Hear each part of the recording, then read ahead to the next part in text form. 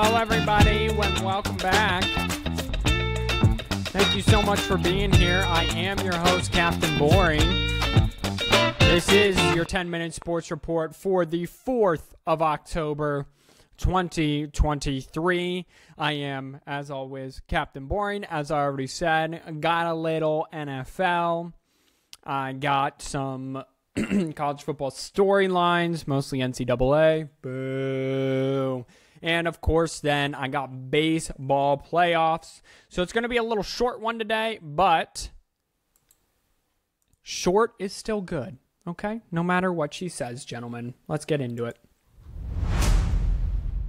So on Monday night concluded with the Seattle Seahawks just drubbing the New York Giants 24 to 3. Daniel Jones was sacked a career high and it tied the franchise record for the Seattle Seahawks 11 times. Daniel Jones finished with 203 yards passing and two interceptions. It was kind of a really muddy game. Devon Witherspoon, the rookie out of Illinois, uh, had an electric 97 yard pick six that uh, uh, that kind of put the game away, and that only was in the second quarter. So that was easy, pish posh, get in, get out, and you're done. Seahawks. Giants are really bad right now because they can't protect Daniel Jones, hence the 11 sacks. Coming up on Thursday, the Chicago Bears, the 0 4 Chicago Bears, are taking on the 2 2 Washington Commanders, who hopefully will change their name soon because their name sucks. I don't like it.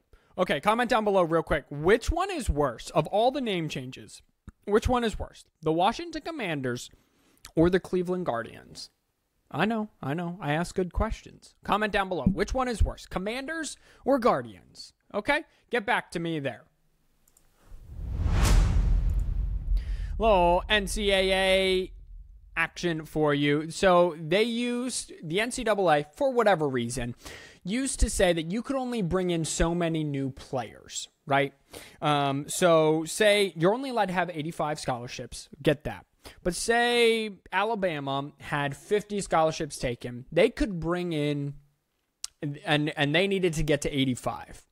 They could only bring in 25, leaving them with 70 leaving them with 10 scholarships that they didn't use. And that, because of the transfer portal, a lot of schools were are finding out that that's an issue for them where they can fill all the 25 spots and still be short on scholarships that they're allowed to give out.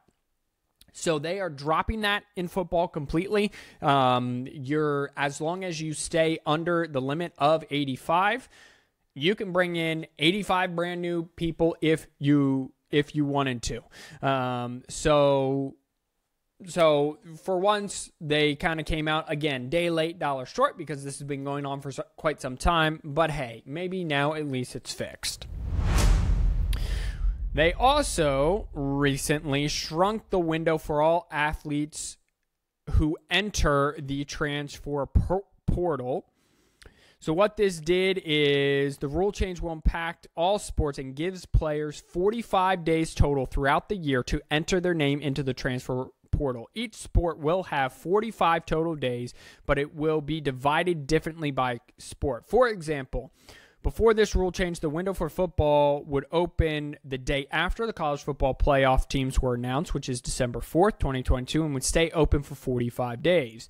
The next period would open from April 15th to April 30th, which will remain the same with new with the new changes. Under the new rule, there will be a 30-day window after the season and a and 15 days in the spring. So, it will open it will stay open from April 15th to April 30th during spring ball, and then the 30 day window in FBS and FCS football. The new 30 day window will begin the Monday after the FBS Conference Championships game, so normally that first Saturday in December. Any student athletes complete competing in the college football playoff will also be given an additional five day transfer window in January, while the second window will occur in the second half of April. So, again, day late, dollar short, but at least we made it a rule that they could do, I guess. Uh, NCAA eyes athlete protection as betting expand. This must have been the NCAA must be take or is about to take a big load of heat for something because they just dropped all of these good changes and good rules in one day. Uh, they also dropped um, protection for uh, the athletes for betting expand uh, as betting expands. Um, they they eye that. They don't want like the NFL you can bet like this player will have 150 yards. They don't want that leaking into college. Uh, so they, they're trying just not good and fast enough all right, let's get you over to some baseball, and then I'll get you on your way. So, in game one of the three game wild card series, these were all game ones. The Texas Rangers beat the Tampa Bay Rays four to nothing. The Minnesota Twins beat the Toronto Blue Jays 3 to 1.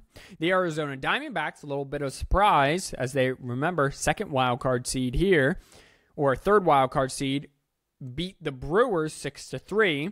And the Phillies, first wild card, playing the Marlins, second wild card, beat them four to one. So again, it's a three game series. First two games are at the higher seeded home team. They win both of those, series over. They lose, and if it's one and one, guess what? It go they the home the higher seed has to go on the road for that third and final game. So it's very important that you win and get out to the divisional round. As of today, right now, it looks like the Tampa Bay Rays are going home. At the end of the eighth inning, the Texas Rangers lead the Tampa Bay Rays seven to one. That would mean that the Tampa Bay Rays, um,